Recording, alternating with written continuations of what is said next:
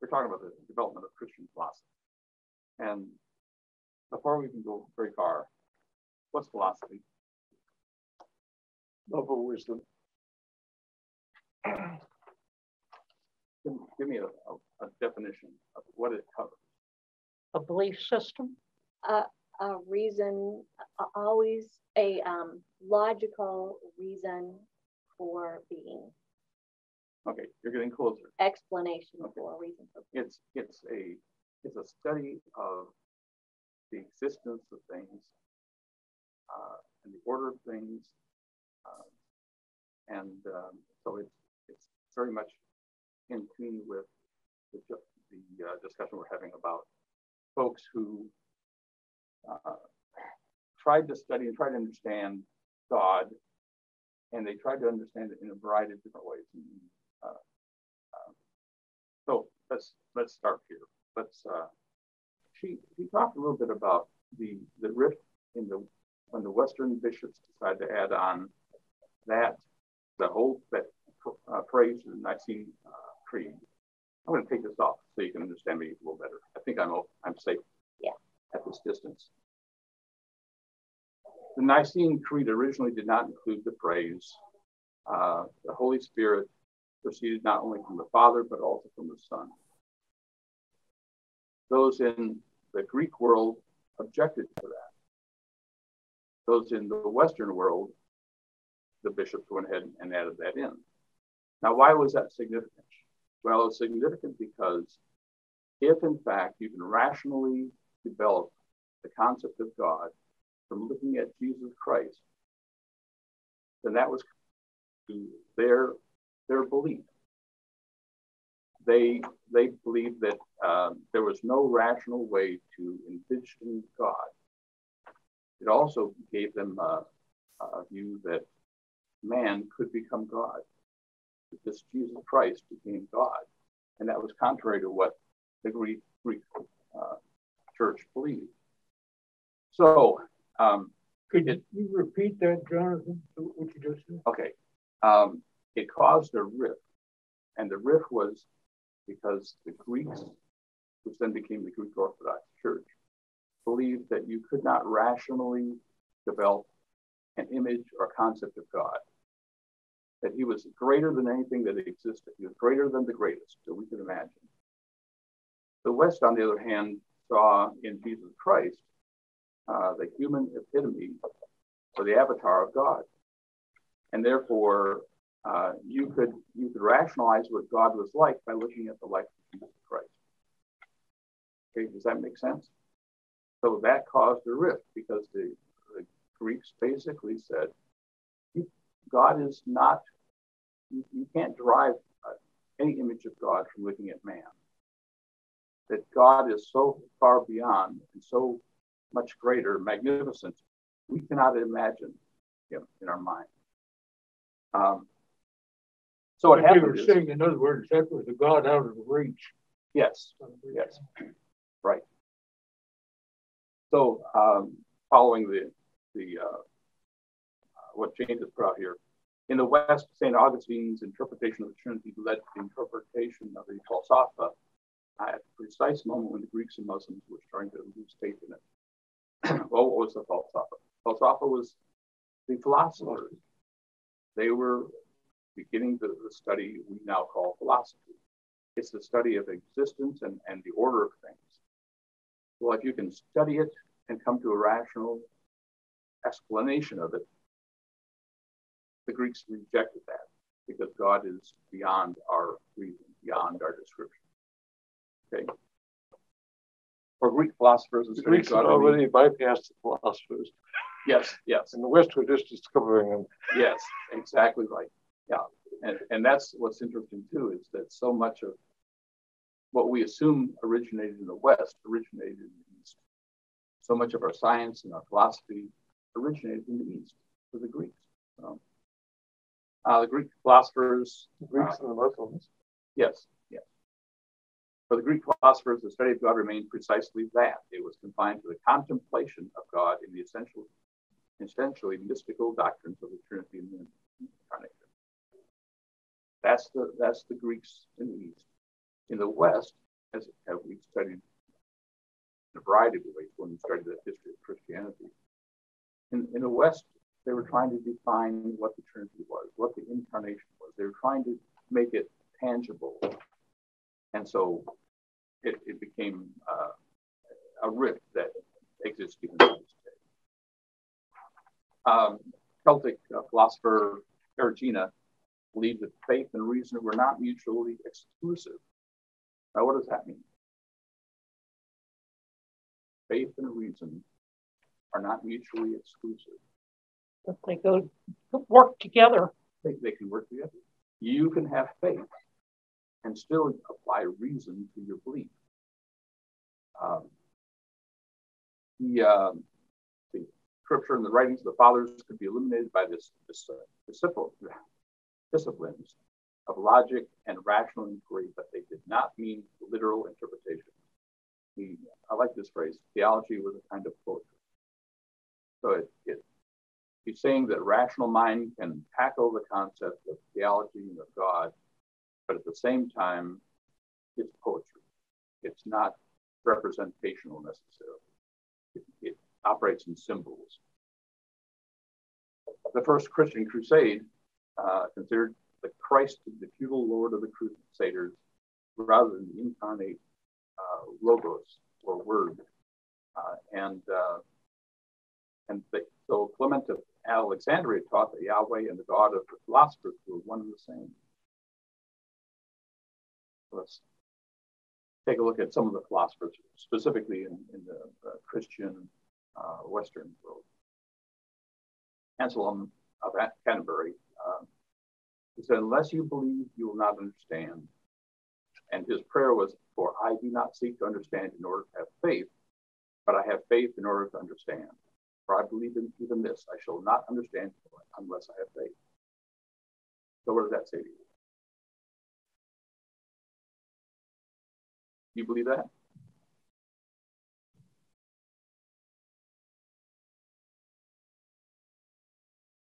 Those of you online can contribute too. I'm assuming you can hear us.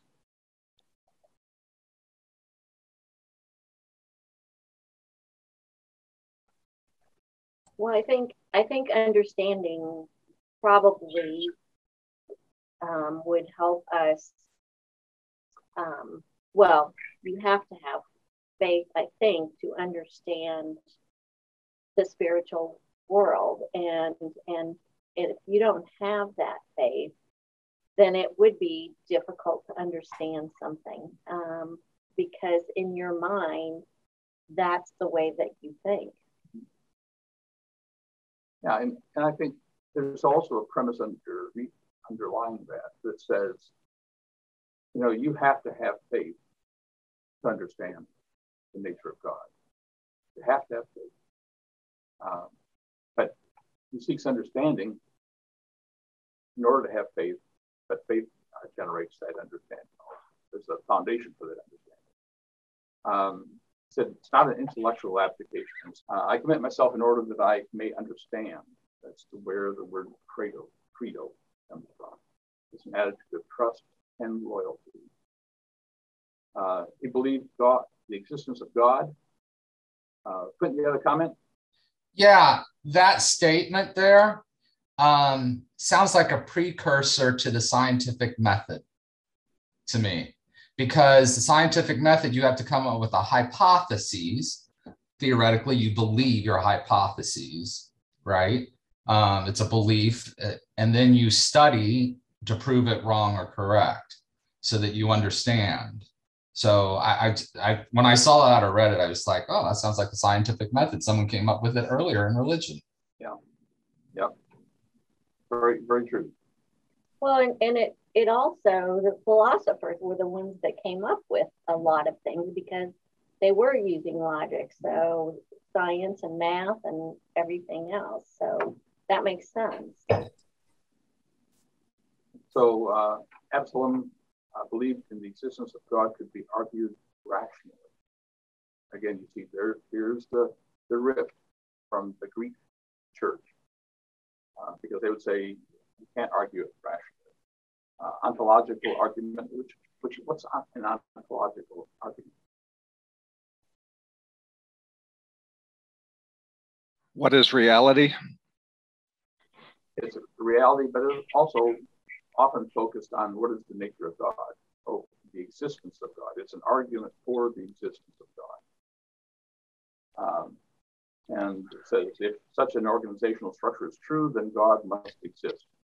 That organizational structure is basically the world, that there is there is structure to the world, there's structure to our existence, therefore God must exist.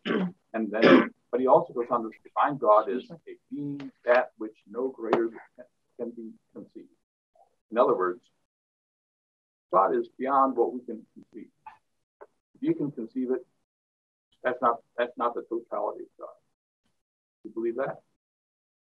I I believe that it's not the totality of God because I think he's much greater than we can imagine. So, you know, you just can't wrap your mind all around a being who can have everyone's interests and, you know, be in, be the creator of all things. You just can't wrap, wrap your mind around the immensity. One of the things that the philosophers will come back to saying is that one, two things. First of all, God is greater than anything we can imagine. And secondly, that because we have, because we can imagine God, God must exist. Why would we have this concept of this idea that there's a God if in fact God did not exist? It's kind of like when you have one of those awe moments when you know you see something magnificent in nature, you know, or the first time you ever are on a mountain, the first time you ever see the ocean, you know, and it's it's kind of you know you just can't wrap your mind around that it's it's so beautiful or awe-inspiring. Well, that's a very good example. Uh, I remember the first time I saw the ocean out in the Portland area, uh, coast, and um, and it, it's immense. I mean, I, I grew up around the Great Lakes, and they're pretty big. But when you see this thing and realize how far it goes, it's pretty immense. Well, then wait till you get on a ship in the middle of the ocean. And imagine how how insignificant and how very immense that is. Well, that we can still imagine. We can still imagine the boundaries of an ocean or of a lake. Uh, and they're saying God is beyond that. He's beyond anything we can we can imagine. Um, and the, the, author points out the flaw is that if you can imagine ten dollars, hundred dollars, uh, but you cannot make money, uh, but you cannot make money a reality in your pocket. So, uh, unfortunately, yeah, yeah. um, TikTok if you can. yeah, yeah. Well, it takes some action. It's not pure imagination. So. Uh, Peter Abelard uh, versus Bernard were two uh, abbots. Um, um, Abelard was a charismatic uh, philosopher, uh, developed an explanation of the Trinity, emphasizing the divine unity and expanse, expanse of the distinction of the three persons. Um, developed a rationale for the atonement. Christ had been crucified to awaken compassion in us, and by doing so, he became our Savior. Um, he came into conflict with Bernard, uh, charismatic uh, abbot of uh. Cistercian. I can't. I'm going to stumble over these words. But, um, anyhow, he, he became one of the most powerful uh, abbots in, the, in the, the Europe. He he dist- distrusted uh, intellectualism of scholars and accused Abelard of attempting to bring the merit of the Christian church to naught. So he accused him of lacking Christian love because uh, he relied on this intellectual or rational approach to defining God. Uh, Abelard uh, was summoned to, uh, summoned uh, into the uh, Council of Sens, and uh, basically that the story in the book is more detailed, I think, but basically, uh, the man was basically crucified for, for his, his belief. Um, Bernard's Christianity was unbridled subjectivity with no attempt to explain the mystery of God. So Bernard versus Abelard. Abelard is, is saying there's a rational, intellectual approach we can take to understanding God. Uh, Bernard is saying that's not that's not the case. He's saying it's uh, unbridled subjectivity, and that there's no way that we can fully understand uh, the nature and being of, of God. Um, Bernard's Crusaders uh, show your life love for Christ by killing infidels. He was, I think, one of the first to send uh, Christians on, on the Crusades. So again, we, we have this conflict even in, in the West between the, the uh, philosophers and the abbots of the, the uh, ministers. Okay, so percent showing love? Well, um, you know, one of the problems, one of the, the real risks that caused that existed between the Eastern and Western churches. So when the Western Church sent the Crusaders into the Holy Land, and on the way they ended up attacking and killing uh, some of the, the people of the Eastern Church, the Greek Church well, that's not a good way to make friends, you know, uh, mend fences. So they really did have this view that somehow for Christ, they were crusaders, and every infidel, that's a non-believer, that they killed was a strike for Christianity. Um, it's one of the, I think it's one of the, one of the eras of Christianity we would rather forget because it, it really was not a representative of what Christ stood for, what he what he spoke for. And that and at that time during the Crusades, the Christians also believed that that that God was a warrior warrior and that he was helping them conquer. Yeah. But it still goes on today. Yeah. yeah, and it does. And a lot of it draws from the Old Testament belief.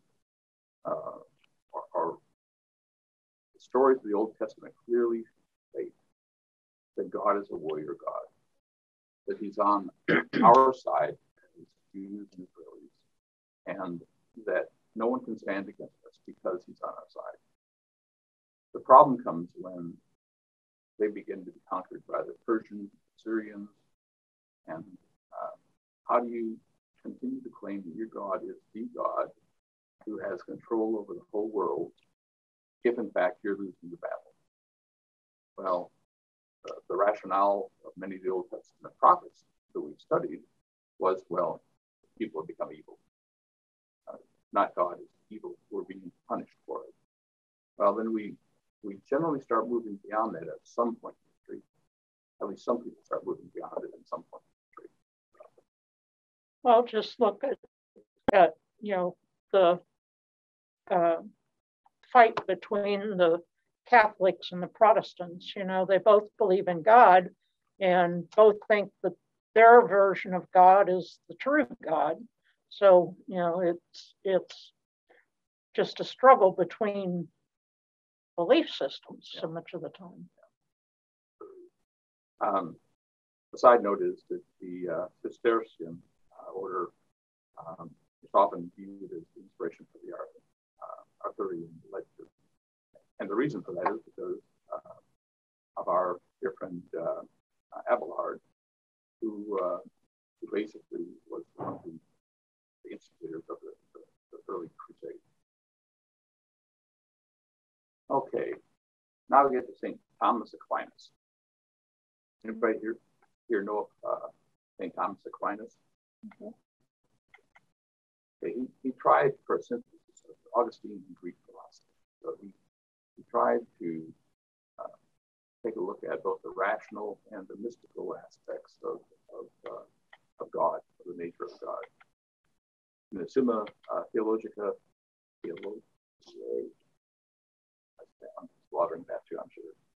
Uh, Aquinas impressed um, by Rushdie's implication or exploitation of Aristotle. While he did not believe that such mysteries as the Trinity could be proven by reason, he believed that God's real nature was inaccessible to fine. Hence, in the last resort, all that man knows of God is to know that he does not know him, since he knows that what God is surpasses all that we can understand of him. So, go back to that circular. We can't understand God because uh, all that we know of him is insufficient to truly know him. Um, Aquinas defined God by returning to God's own definition of himself. Uh, Moses, I am what I am. Aristotle had said that God was necessary. What's a necessary? Why would Aristotle say that God was a necessary being? We wouldn't be without him. Yeah. Where where do we come from if there's not a creator? Why are we here? Um, and it, that ties in with the, the concept of the unknown known uh, a number of ways in which God has been described as indescribable, basically. Aquinas bring we linked the God of philosophers with the God of the Bible by calling God He who is. We yes. Um, what does that mean when he says when the author says that Aquinas linked the God of the philosophers to the God of the Bible.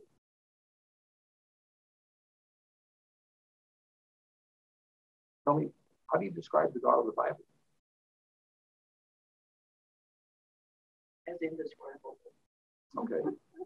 Powerful, majestic, warrior king, creator, uh, vengeful, all those kinds of things that represent the God of the Bible. What did Aristotle say? That God was more than our imagination could understand, but that there was a reason that he existed. No, and there, there's an order to existence. There's a structure to existence. And so Aristotle is uh, but Aquinas is, is combining that view that there's an order and structure, and we can understand nature and, and the universe with that God of the Bible that is mystical and beyond comprehension. Um, God was not simply another being like ourselves. Definition of God, the definition of God as being itself was appropriate because it does not signify any particular form of being, but rather being itself. So God is simply it. It exists. Uh, he who is. Portion. Yes. And and she. Oh, and she, yeah. Well, actually, the, the better term is it because it is genderless. So uh, it is who it is. But Jonathan, isn't this saying that we cannot, no one can actually know all of God? Yeah, yes, that's exactly it. But keep in mind that the Aristotle, Aristotle was trying to say, and Aquinas, following his pattern, was trying to say that yes, we can't understand everything, but we certainly can understand much of God. We can we can look at Jesus Christ. We can look at other representatives through history uh, of, of individuals like St. Francis of Assisi. Uh, and we can say God is like the best of those people. Or specifically with, with Jesus, we can say, well, God is, is inquisitive and knowledgeable because Christ is a child went to the temple. He is compassionate because the many times he healed. Uh, he is this, he is that, because Jesus is this and that. Jonathan? And your, yes. I, I wonder if Aquinas was trying to um, partially account for uh, why there are so many different views or visions of God in the Bible that we've talked about. Uh, the God who is close and intimate and, and visits with people, and then the God who's very distant and threatening and powerful and dangerous and sometimes angry. Um, and, and in doing that, he is using what uh, Moses' experience was, I am what I am, uh, to mean that all of those are God. All of those experiences are God, and yet none of those experiences are the entirety of what God is. Does that make sense? Yes, I, think it makes a lot of sense, and I think it's very, very accurate. Any other comments? Okay, then let's let's move on a little bit. Aquinas had five proofs of God's existence. We kind of touched on some of this already. Uh, one is that God is the prime mover. I mean, something must set the universe in, in order. Something must have started the universe. Um, so he is the prime mover. The very fact that we exist means that God exists. There must have been a beginning. There cannot be an infinite series of causes. So in other words, you know, if I eat uh, eggs and bacon this morning and the bacon is, is old and moldy, then I'm going to get sick. That's a cause and effect. Uh, Aristotle saying there aren't you can't trace back enough causes to not have a prime mover, to not have a god that exists. There's got to be something that puts everything in motion. Uh, it's kind of a redundant to the prime mover kind of concept. The argument of uh, contingency demands the universe, universe uh, demands the existence of a necessary being. Uh, again, the whole idea that there must be someone, something, it that exists for the universe to, to exist. The uh, Aristotle talks about the hierarchy of excellence in, the, in this world. It implies a perfect that is best of all, perfect or perfection that is beyond all. So if if a flower is beautiful and a field of flowers is more beautiful, and you our age, in our space age, we can get up and we can look at the planet and see how beautiful it is. And you can go even further and see that the universe, the galaxy is, is absolutely beautiful. There's got to be something beyond all that. So there's got to be a perfection beyond what we can envision, what we can see. Comments? Five um, is the argument of design. Order and purpose that we see in the universe cannot simply be the result of chance. You know, they, they talk about how if Earth rotated on its axis just a little bit more, or a little bit closer to the sun, or a little bit further away, life as we know it would not exist. So there's something that has created this absolute perfect situation that allows us to, to exist. And, and that's the design theory. Somehow it it's designed in such a way like something that it that I that I am God. Uh, that is again a, a proof that is of his existence, his or her existence. Sorry, I come from a patriarchal society, and I can't get over the uh, um, so, how do you react to those five proofs?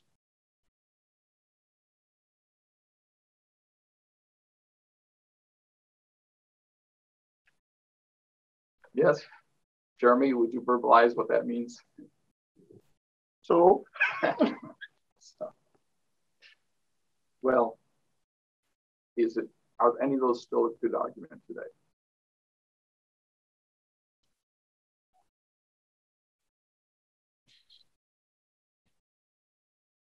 Does does your faith depend upon there being God as the prime mover of the universe?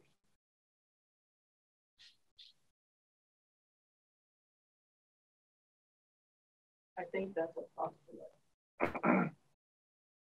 postulate. Okay. Define postulate. It's some it's a statement that um, you base other things on. A statement that is accepted without proof. Okay. As a theorem. Okay. Thank you. How about Thank you, Ron.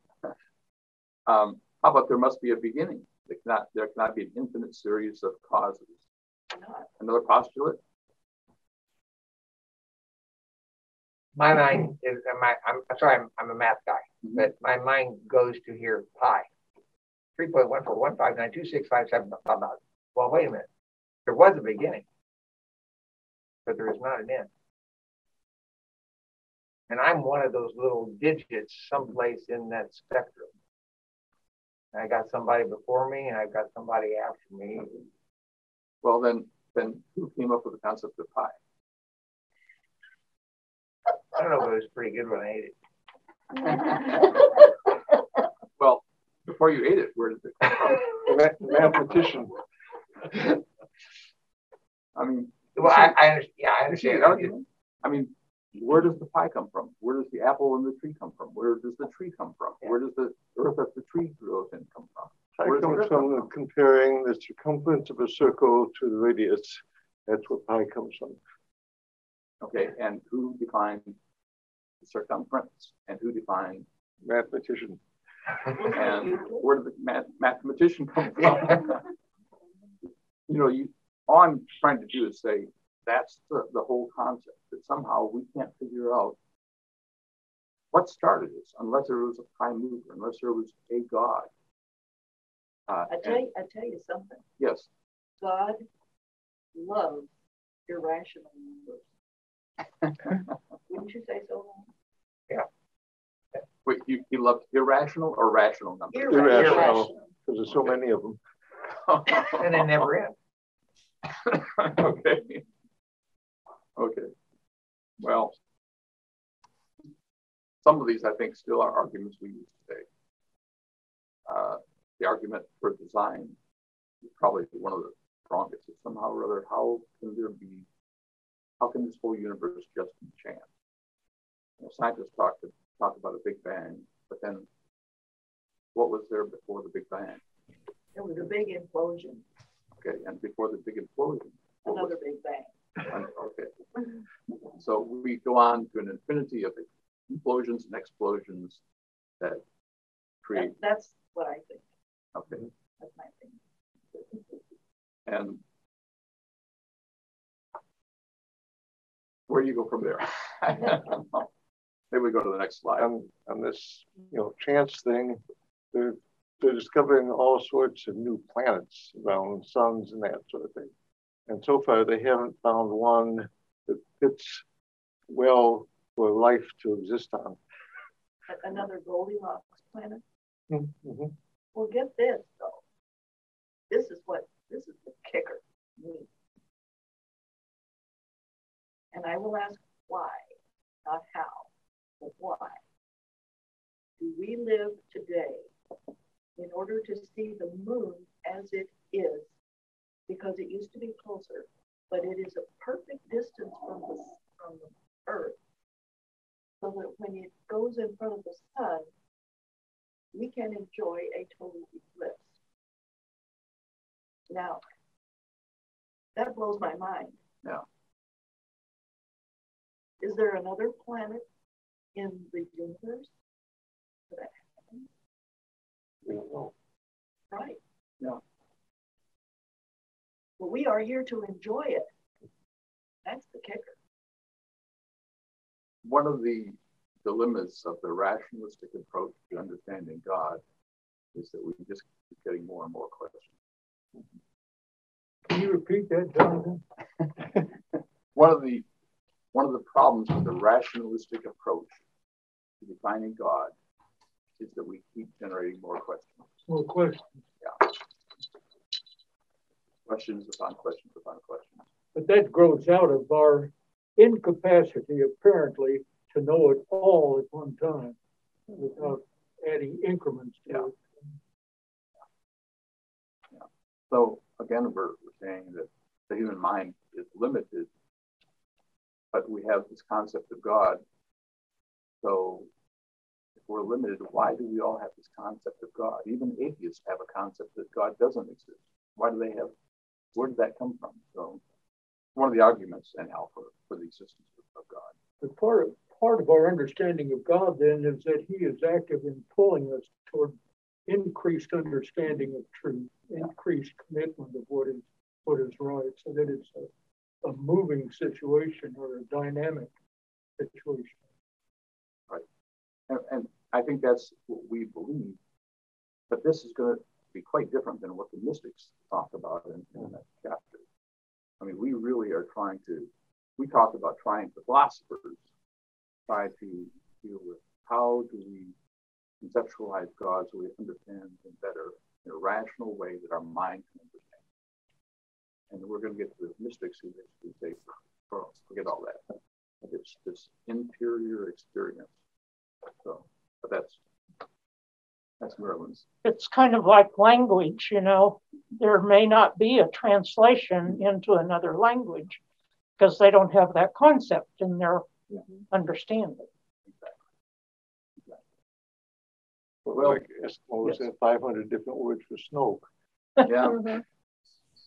And we have one. Maybe two. Um, Bonaventure, Aquinas Franciscan contemporary, tried to articulate philosophy with religious experience to the mutual enrichment of both. So Bonaventure was really trying to merge the two, say that both religious experience and philosophy can be merged together to help us better understand the nature of God. In a threefold way, he believed that the Trinity could be proved by unaided, unaided natural reason by avoiding the dangers of rationalistic chauvinism by stressing the importance of spiritual experience as an essential component of the idea of God. Okay, rationalistic chauvinism, what does that mean?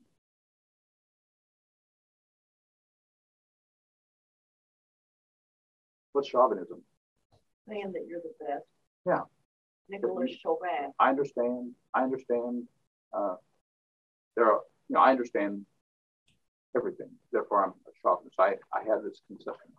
A rationalistic chauvinist basically means that you believe that rationalism can explain everything. Your, your view is that rationalism is the view. There's not another view.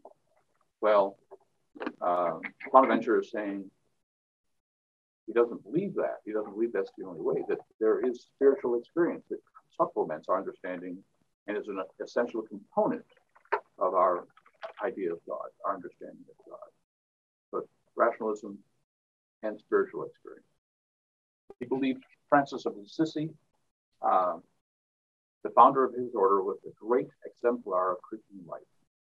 Um, he used ontological proof, note that again, that proof of the existence of God uh, in his discussion of uh, Francis as an epiphany. What's an epiphany? Uh-huh. An aha moment but it also means basically an experience with God, the, the supreme being. It's you know, an enlightenment. Exactly. Exactly. He argued that Francis had achieved an excellence in his life that seemed more than human, So it was possible for us, while we still lived here below, to see and understand that the best is what is that which is. Try that again. To see and understand that the best is that which, then nothing better can be imagined. I love the language of, of some in the book, but basically that there you can't imagine something better. There's some, nothing more perfect. Uh, if we entered into ourselves, Plato and Augustine had both advised we would find God's image reflected in our own inner, inner world. So it's, it's in a sense, it's a kind of an inner contemplation, but it's also a rationalistic uh, approach to understand uh, ourselves and God Liturgy is important, but a Christian must first descend into the depths of his own self, where he would be transported in ecstasy above the intellect and find a vision of God that transcends our limited human notions. So it is a personal journey. It is an internal journey. It's based on rationalism, but it has to be combined with the spiritual experience, which helps us better understand through this ecstatic experience, this epiphany to better understand God and the nature of existence. that's where we get into the mysticism that we're going yes. to get into. Yes, exactly.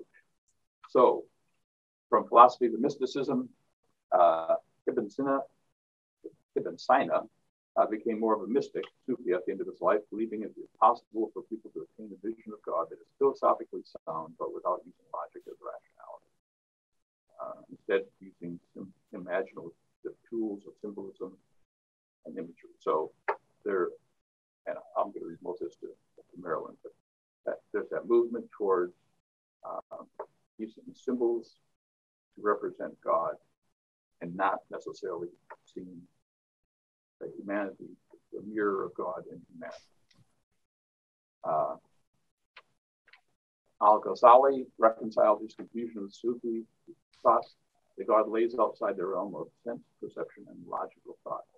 Muslim philosophy had become inseparable from spirituality and a more mystical, mystical uh, discussion of God.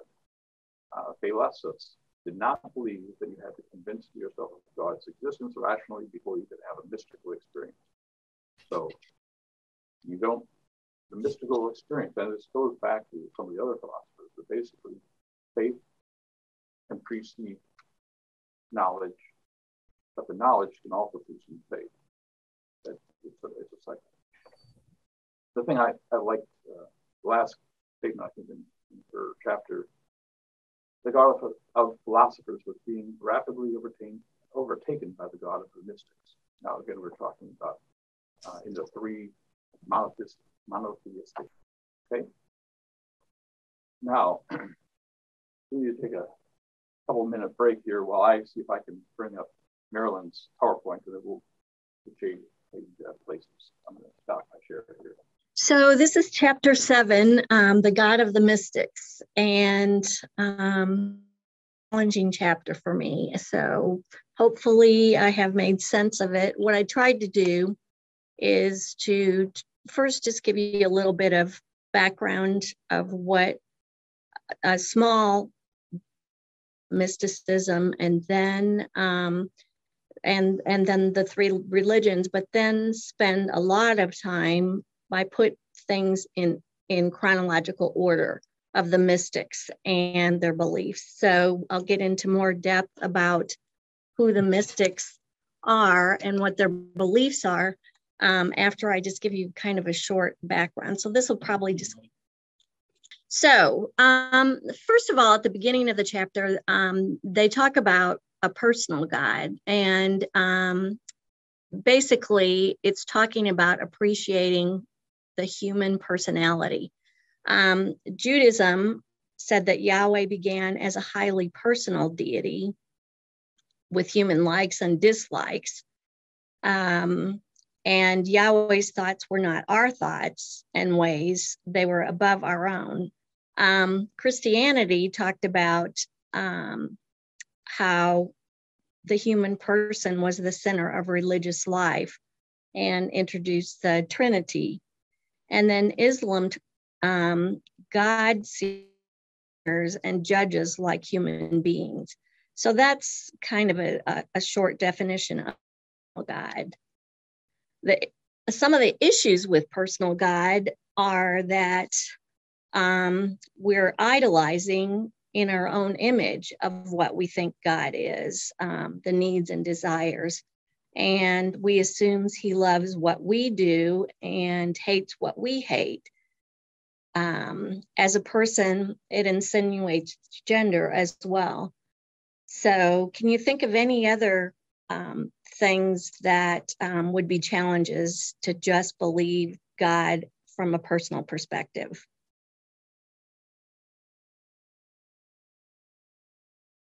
The fact that we just, you know, what we've been talking about, that we can't imagine his, his entirety, his depth and width and it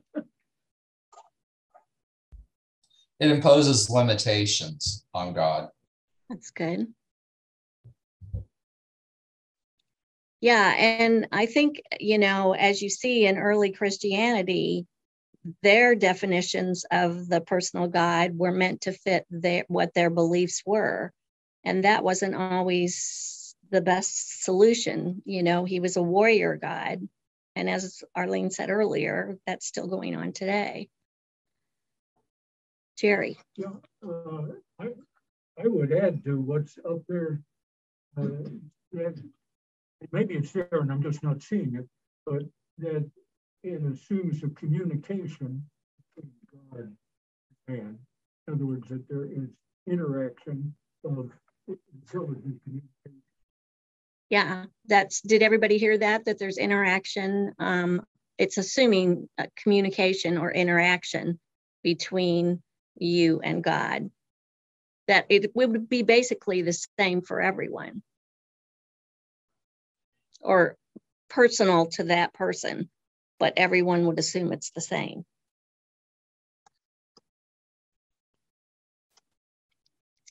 The contemplative religions, there is really getting a little bit more into what we call mysticism. So um, there's a dialogue that becomes silent thought.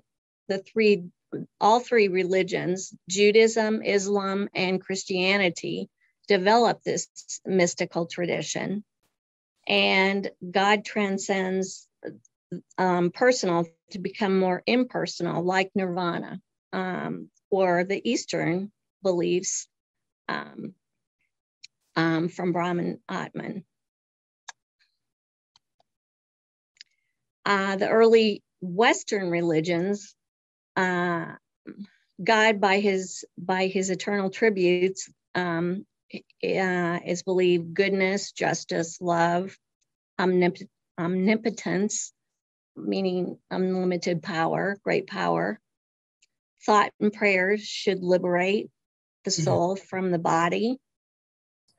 And religious art was becoming a representation by depicting events in life of Jesus or the saints. And we'll talk about that later on because that also plays a role in mysticism in some ways.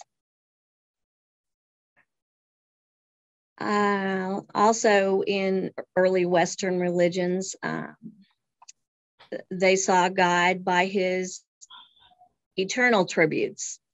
Well, I think I've already I already mentioned this: goodness, justice, love, um, and then um, am I repeating myself? I think I am. I think this is a Oh, okay. I think this is a duplicate slide. I think I cleaned it up after I sent it to you. Sorry about that. okay. Um, and in the early Eastern religions, uh, Christian experience of God was characterized by light. Um, later on, it'll be called enlightenment. Um, in the Greek religions, because Greek was a lot was was there a lot longer. There's a lot more to talk about. Like they saw god making himself accessible in ceaseless activities.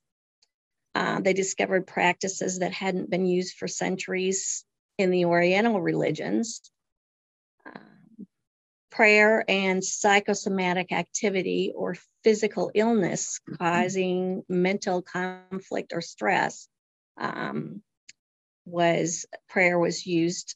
Um, they didn't they didn't use imagery initially in the Greek religions, and vision um, was silent. So there wasn't a lot of um, talking when um, mysticism was involved. Um, God God's essence and his energies in, in the world allowed us to experience some something of the divine. Okay, so um, God's energy descends to us. The divine energy is from the Old Testament. It's called.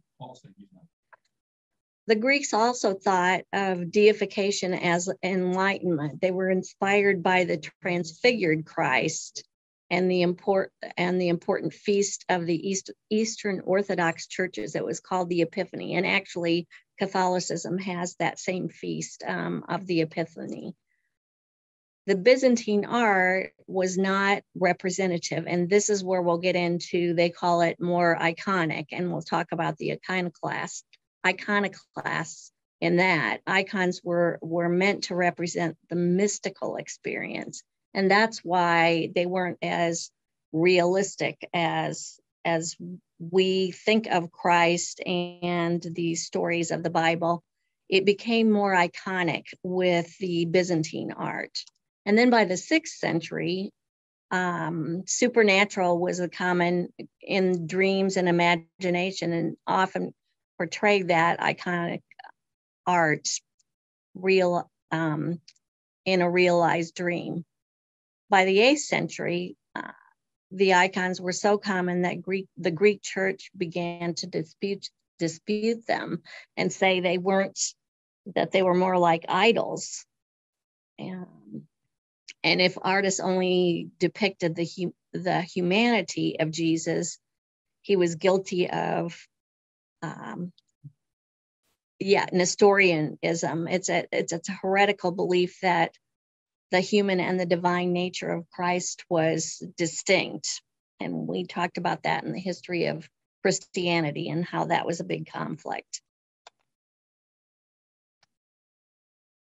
So, myth, mysticism, and mystery. It was de- derived from the Greek verb mysterion, to close the eyes and mouth. It was rooted in darkness. The West used myth um, to mean lie or something that needed to be cleared up. But again, mysticism didn't start in the West. So that's why it took a little bit longer um, for this to catch on. Mythology often used to explain the inner world of the psyche. So we can start talking about the mysticism timeline and the the people and the practices that were involved throughout time.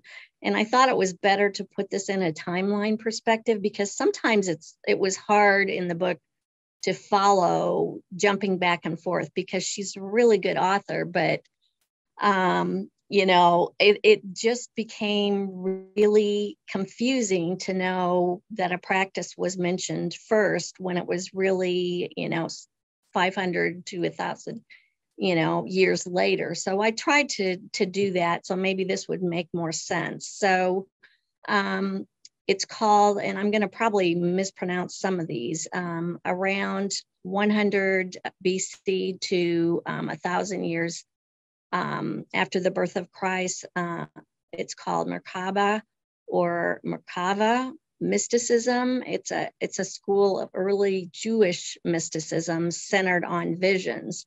And you know, I think there was a lot of mysticism going on, but it wasn't it wasn't talked about as such. I think that people there it's really interesting as we go through this timeline to figure out what was really going on with these practices. You know, was there more than just meditation? What were there?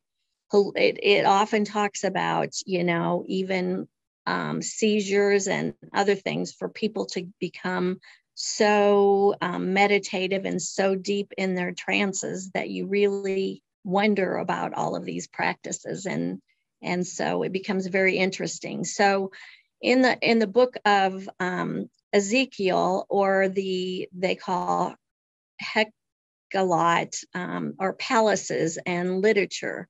Uh, those stories were about the ascent of the heavenly palaces, the throne of God, and I don't know if you remember that. We talked about that um, before with the, the book of the prophets and, and Ezekiel's dream. That became kind of an early mystic thing that people concentrated on when they started trying to envision God through their practices. The main corpus of Merkaba literature was composed from 200 to 700 CE. So that's really early in the timeline. Later references to the chariot. Remember, we talked about that. I can't remember that was earlier, um, maybe in in the last book that we read. Yeah, it was the prophets and their visions. Um, the tradition can be found in the literature of, okay, I'm going to say this wrong, Chazadi Ashkenaz, in the Middle Ages, a major text um, in that tradition. So um, in, um, uh, well, this must be the, okay. Again, um, this is more of, of Merkaba.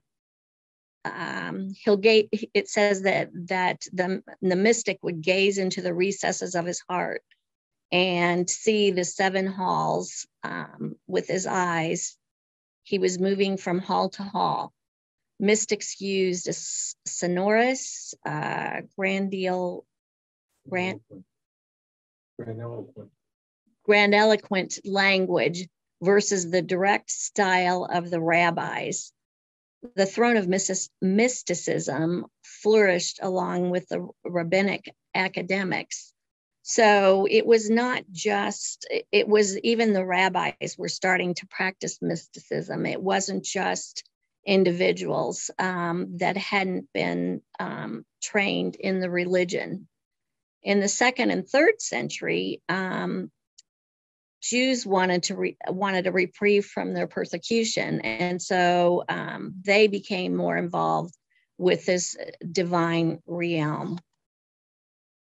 And then around 322, probably the most and still practiced today's the original meaning of Sufi is to have been one who wears suf, woolen clothes, simple, because Muhammad was really trying to um, simplify and and make a difference in people's lives. So he wanted, so he was trying to not, um, I, I don't know, uh, to simplify or um, simplify um, your life, your individual life, so you could help others.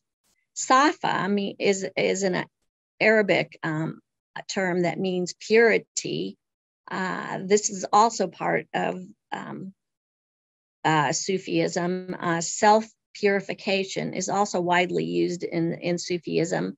They were combined um, by Ruba, uh, let's see, Ruha Bari around 322 to means Sufi is the one who wears wool on top of purity. So that was originally the Sufi practices that began.